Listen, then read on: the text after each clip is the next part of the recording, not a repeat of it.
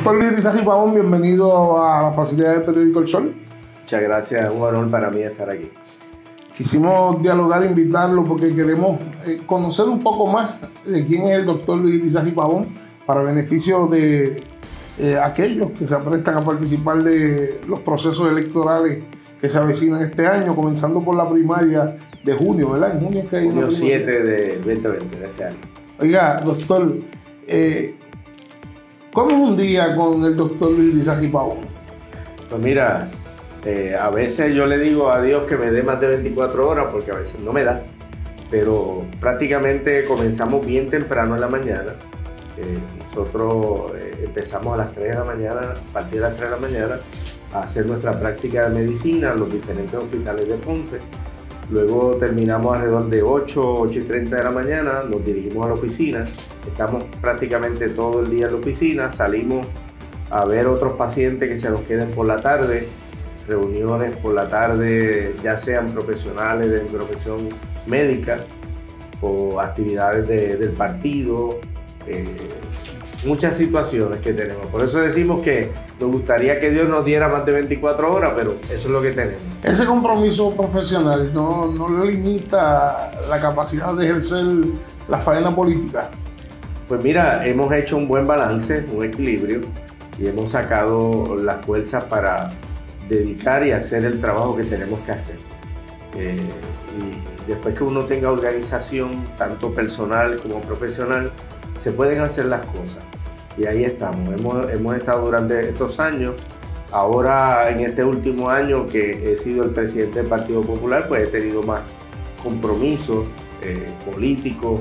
Eh, los compromisos profesionales los estamos amoldando a nuestra realidad eh, personal y política. Pero gracias a Dios siempre nos han dado el tiempo para cumplir y ser responsables en todas las cosas que hacemos. Conocemos su bagaje político como líder dentro del PPD y como legislador municipal, entre otras faenas, ¿verdad? Pero, ¿qué motiva a Luis Rizagi Pavón a querer ser alcalde? ¿Qué, cuál pueden ser muchas ideas, muchas cosas, pero ¿qué es lo principal que, que lo motiva a tomar esa decisión? Mira, son varios factores. Número uno, eh, yo soy una persona, yo soy cristiano y, y he tenido eh, un llamado. Yo sé que mucha gente pues no le gusta que uno utilice la, fe en estas cosas, pero sí tengo que admitirlo que el principal factor ha sido el llamado que he tenido para hacer algo por la ciudad que me vio nacer, que me vio desarrollar y darle un poquito de lo mucho que he recibido del sistema de gobierno de nuestro Puerto Rico. Y ante eso y confirmado eh, en la iglesia que yo eh, eh, persevero, pues estamos aquí. Pero también eh, es un compromiso que cada uno debemos hacer con nuestra ciudad. Aquellas personas que pueden dedicarse a, a hacer eh, trabajo público, yo los exhorto a que, a- a- a que entren en este ruedo. No podemos dejarle la política a los que dicen ser los malos o los políticos de carrera. Mucha gente cuando yo he tomado esta decisión me han dicho, pero doctor, si usted es buena gente, ¿por qué está en la política?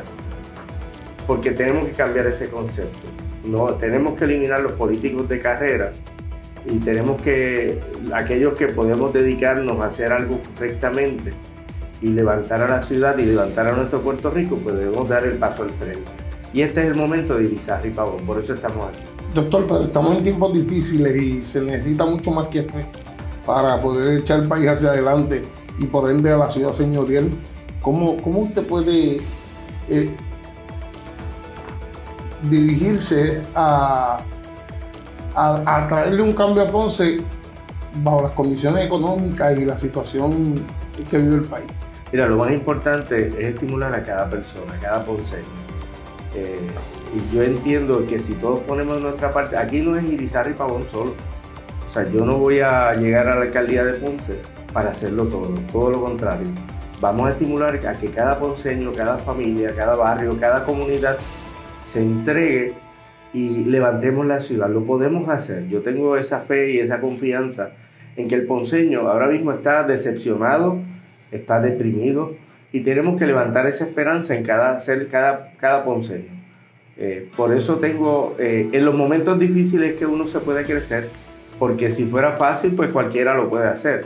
Nosotros estamos aquí porque entendemos que tenemos la capacidad, tenemos el conocimiento, hemos visto las cosas que han fallado en la actual administración y que podemos cambiarlas porque van a ser de beneficio. No va a ser fácil, pero con la ayuda de cada ponceño lo podemos lograr. La primaria del próximo junio permitirá que el Partido Popular salga unido de cara a las elecciones.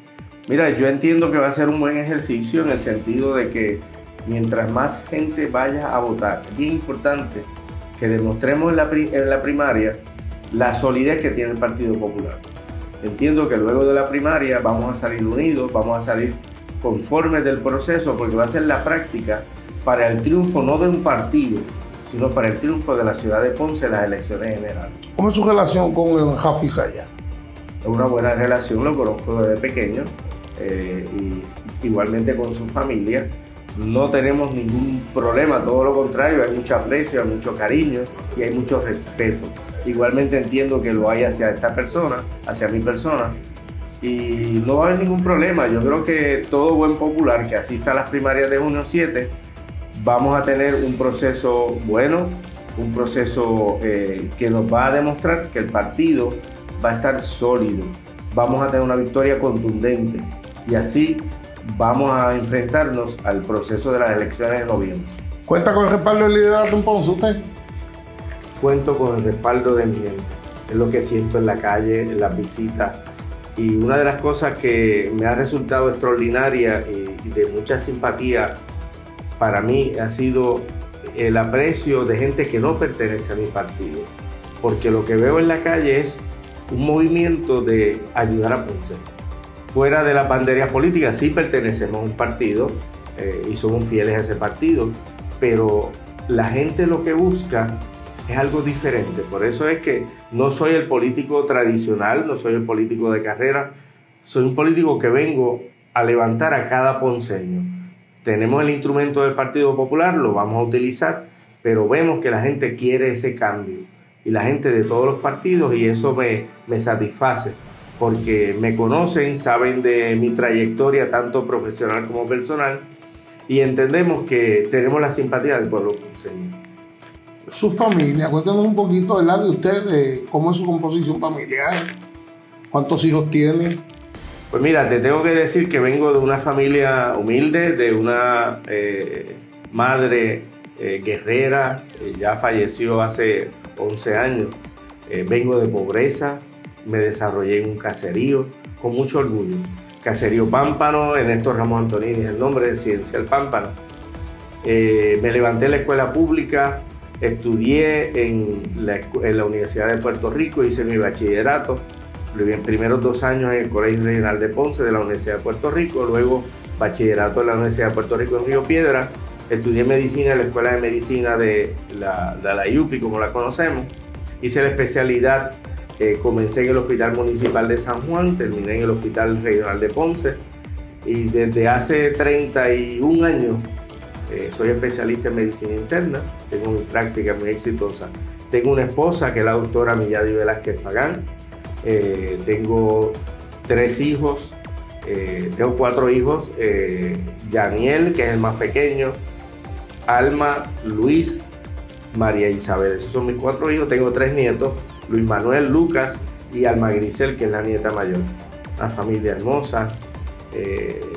Trabajamos mucho. Eh, somos muy unidos y, están enfocados en que tenemos que dedicarnos a levantar nuestra ciudad. Apoyan su aspiración, por ende. Apoyan, aceptan mi aspiración y apoyan mi aspiración.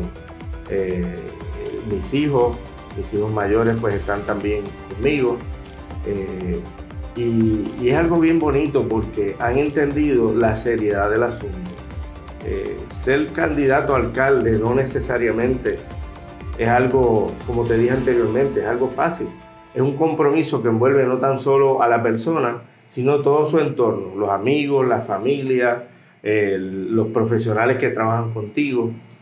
Y la aceptación ha sido muy buena, muy buena. Si le digo que evalúe a Ponce en este momento, ¿qué nota le da a la alcaldesa? Eh, ¿Cuál usted cree que es el principal problema a resolver una vez usted lograra su aspiración? Bueno, si las notas son de la A a la F, yo creo que la alcaldesa tiene como H, porque se pasa de la F. O sea, yo creo que, mira, el primer año, eh, varias veces que me entrevistaron, yo le di la oportunidad a la alcaldesa de que demostrara la capacidad para administrar Ponce. Luego de ese primer año definitivamente nos ha demostrado, y ya llevamos 11 años, que no ha tenido la capacidad administrativa. Eh, yo creo que Ponce, todos los problemas económicos que tiene el país, los entendemos.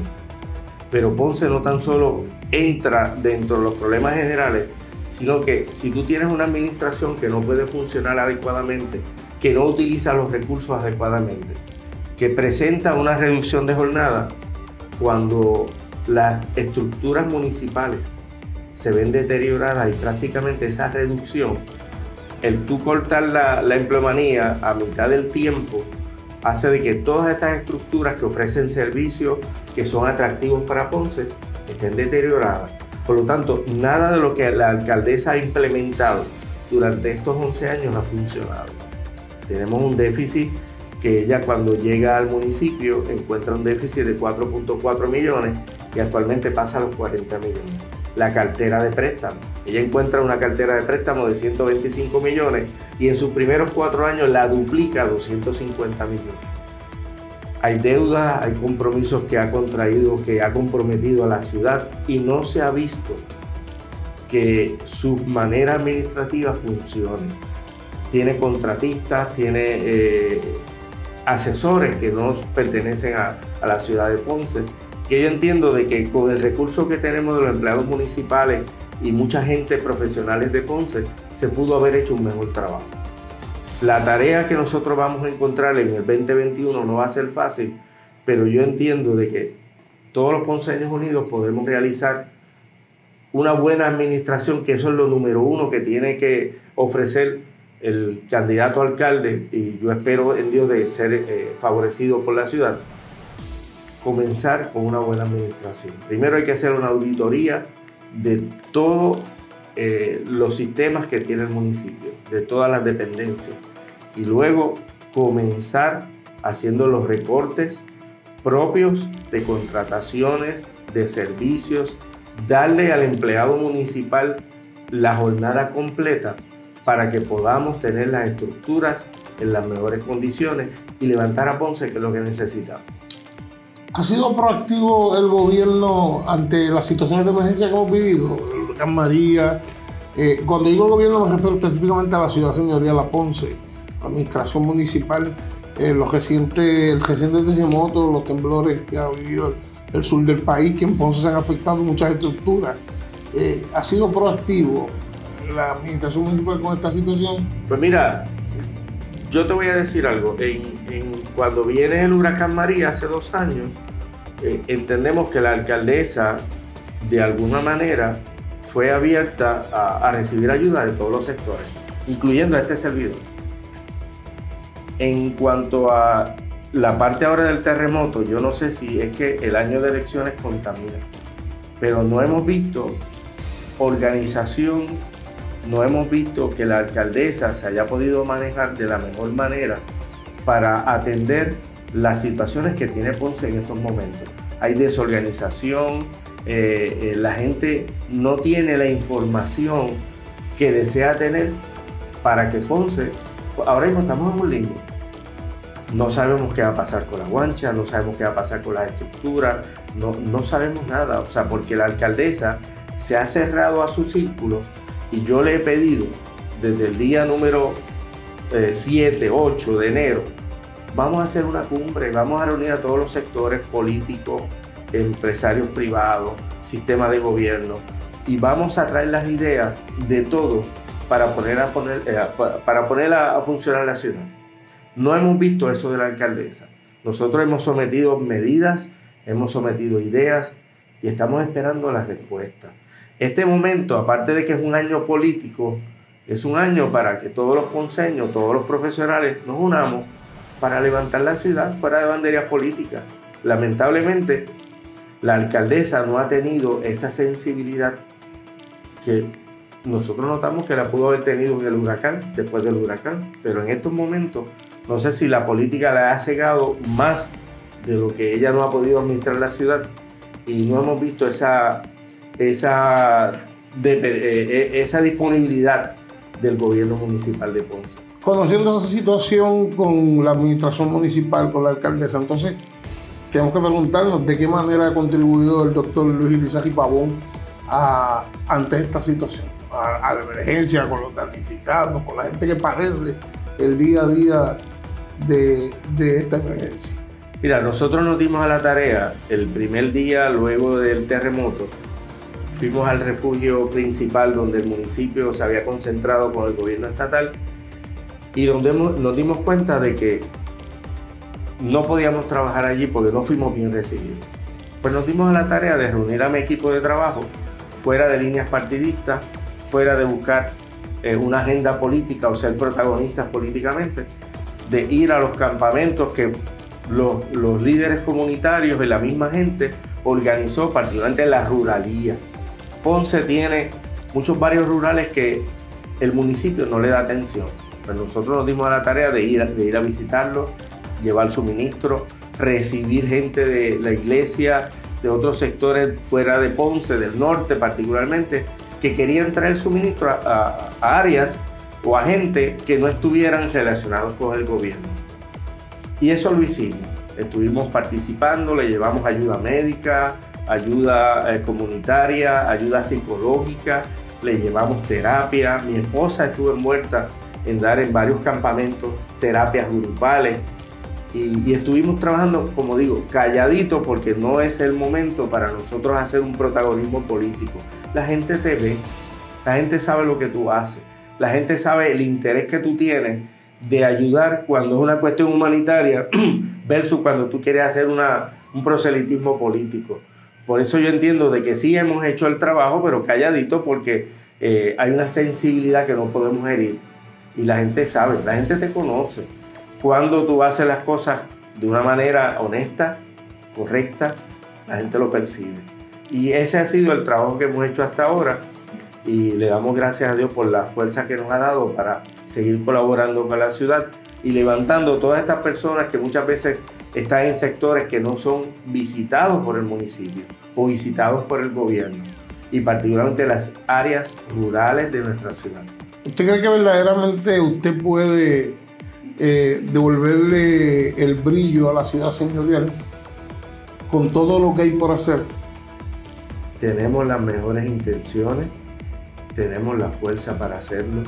Y lo más importante, y como yo tengo esta frase, la riqueza de un pueblo no es el dinero, la riqueza de un pueblo es su gente.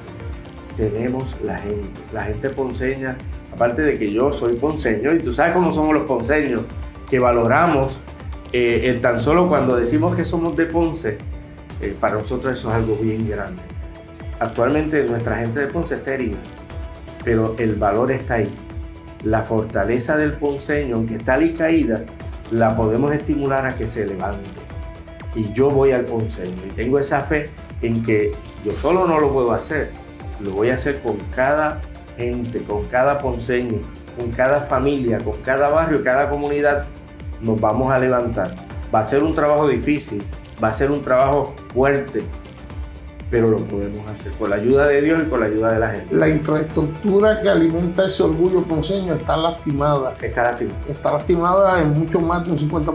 O sea, hablamos del Monaga, hablamos de la Guancha, hablamos del, Coliseo. El centro ceremonial. El centro ceremonial Pibe. Se necesita mucho para... Se necesita mucho, pero con tan solo empezar, dar el primer paso, lo vamos a lograr. Aquí hay que ir barrio tras barrio, los sectores rurales. Yo, yo insisto en eso porque si tú ves que el centro urbano, que las estructuras están abandonadas, ¿qué me dices a mí de los sectores más lejanos a la ciudad? Nosotros tenemos unos sectores rurales hermosos, pero están abandonados. Por lo tanto, vamos a trabajar con el centro de la ciudad, con los íconos de la ciudad como la Guancha, Centro Ceremonial Indígena, el Monaga, los diferentes museos, los parques, pero también vamos a levantar lo que en un momento dado mucha gente de Puerto Rico y fuera de Puerto Rico venían a visitar nuestras áreas rurales. Ponce tiene un atractivo natural, bello. Lo tenemos que brillar de nuevo. Lo vamos a hacer porque lo que hace falta es voluntad. Yo nací en Ponce, me crié en Ponce, me levanté en Ponce y yo sé lo que queremos los ponceños. Con ese factor nada más, por eso te digo, el que es de Ponce, no tan solo es decir que soy de Ponce, es sentirlo, es padecerlo. Y yo estoy en la mejor disposición de unirme a todos los ponceños para levantar a nuestra ciudad. Lo podemos hacer, lo podemos hacer y lo vamos a lograr. ¿Quién gana la candidatura a la gobernación? Esa es buena pregunta. ¿A quién apoya el doctor Luis Pavón? El, la candidatura a la gobernación de Puerto Rico la va a ganar el Partido Popular Democrático. Pero de los candidatos primaristas, que por primera vez tiene la primaria el PPD. Cualquiera de los tres candidatos que están en esa papeleta van a ganar la candidatura. ¿Cuál es de su agrado? ¿A quién apoya? Apoyo a los tres candidatos en estos no momentos. No hay una postura definida para. No, no tengo una postura porque yo les he dicho a los tres que son bien recibidos en Ponce, eh, tanto Eduardo Batia, Charlie Delgado, Carmen Julín, eh, Cruz. Eh, le he dicho que de ellos, ellos tres tienen que hacer la mejor oferta para levantar a la ciudad, para Ponce.